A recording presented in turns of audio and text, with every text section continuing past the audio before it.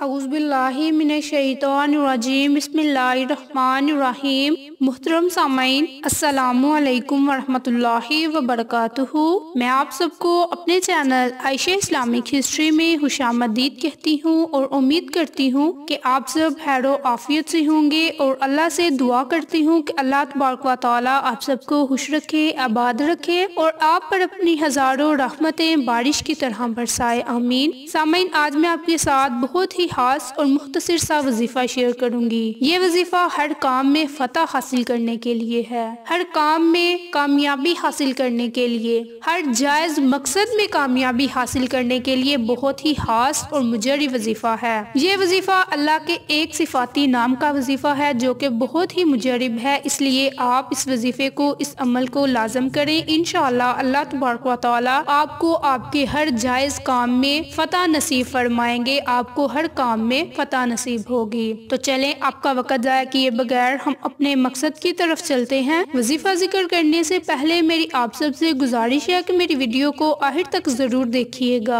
और जिन लोगों ने अभी तक मेरे चैनल आयशा इस्लामिक हिस्ट्री को सब्सक्राइब नहीं किया, वो नीचे मौजूद लाल रंग के बटन को दबा दें और साथ मौजूद घंटी के बटन को दबा दें, ताकि मेरी हर नई आने वाली वीडियोस की अपडेट आप तक आसानी पहुँच सके। जजाकल्ला वजीफा करने का तरीकाकार अच्छी तरह सुन लें और समझ लें, आपने इस वजीफे को किस वक्त करना है, किस तरीका कार से करना है, ये भी ध्यान से सुन लें। सामीन, आपने जो कोई भी अपना काम शुरू करना है, उससे पहले आपने अल्लाह तबारक ताला के सिफाती नाम का विरद करना है। अल्लाह का ये सिफाती नाम क्या है, इसे किस तरह पढ़ना है, ये भी ध्यान से सुन लें। बिस्मिल्लाहिर्रहमानिर्रहीम, या नाफियु या नाफियु अल्लाह का एक सिफाती नाम है, जो कि बहुत ही मुजरब बहुत ही आसान। ये अल्लाह तबारक व का सिफाती नाम है। आपने इस नाम को 20 मरतबा इसका विरद करना है। अवल आखिर आपने दरूद पाक पढ़ना है। इन अल्लाह तबारक व वो काम उस इंसान की मर्ज़ी के मुताबिक कर देगा। जो भी वो अपने काम में कामयाबी चाहता है, अपने काम में फतह चाहता है, अल्लाह तबारक ताला उसके हर जायज़ काम में उसे फतह नसीब करेंगे। उसे अपने काम में कामयाबी मिलेगी तो अमल आपने पूरी नीयत से करना है, पूरे यकीन से करना है। बहुत ही आसान अमल है, जो कि अल्लाह के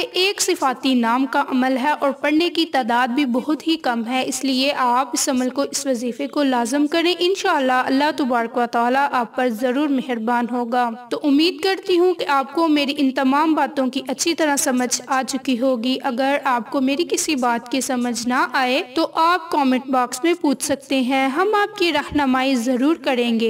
आखिर में अल्लाह से दुआ है कि अल्लाह इन तमाम अहम बातों पर मुझे और आप तमाम सामाइन को अमल करने और दूसरों के साथ सदके की नीयत से शेयर करने की तोफीक दे, पंजगाना नमाज़ पढ़ने की तोफीक दे, सिरातल मुस्तकीम के रस्ते पर चलने की तोफीक दे। आमीन। आपको हमारी वीडियोस पसंद आए तो इसे लाइक, शेयर एंड सब्सक्राइब कीजिए और सदके की नीयत से अपने प्यारों के साथ, अपने जानने वालों के साथ शेयर भी लाजिम कीजिए। इनशाला फिर किसी ने अच्छी वीडियो के साथ या अच्छी मालूम के साथ आपकी हिदमत में हाजिर होंगे। तब तक के लिए इजाज़त दें। असलकम वरहमल वर्का